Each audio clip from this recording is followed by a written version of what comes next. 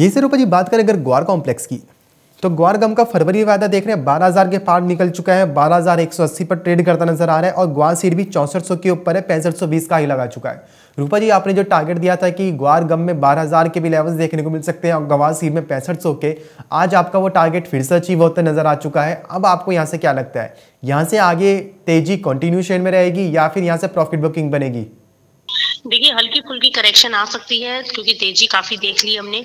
लेकिन अब देखिए, अगर यहाँ पर मार्केट सस्टेन रहता है ग्वार, गम बारह हज़ार के ऊपर सस्टेन रहता है तो यहाँ से अब जो टारगेट आता हुआ दिखाई दे रहा है, वो तेरह से पंद्रह हज़ार तक की तेज़ी ग्वार, गम में बनती हुई दिखाई दे सकती है। वहीं सीड भी अड़सठ सौ से लेकर सात हज़ार तक की तेज़ी की तरफ़ मार्केट जा सकता है।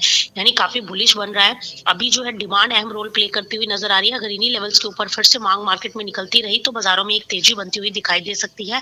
अदरवाइज़ अगर यहाँ पर ट्रेडर्स हम्म, की तरफ़ से ह्यूज सेलिंग की गई तो फिर एक प्रेशर जो है वो इस कॉमोडिटी पर बन सकता है। स्टिकली स्टॉप लॉसिस के साथ इसमें बाइंग में बना रहा जा सकता है जिसके पास माल रखा हुआ है वो कुछ एक लिक्विडेट कर सकते हैं। लेकिन यहाँ से अब अगर तेज़ी बनी तो तेरह हज़ार से पंद्रह हज़ार तक ग्वार गम को ले जा सकती है और सीट जो है अड़सठ सौ से सात हज़ार तक ऊपर जा सकती है। जी। तो यानी कि जिस हिसाब से ग्वार गम और ग्वार सीड में करंट सिनेरियो बनता नज़र आ रहा है फंडामेंटल्स देखने को मिल रहे हैं। उसके मुताबिक तो रूपा जी को यही लग रहा है कि ग्वार गम और ग्वार सीड में आगे जाके तेज़ी देखने को मिल सकती है।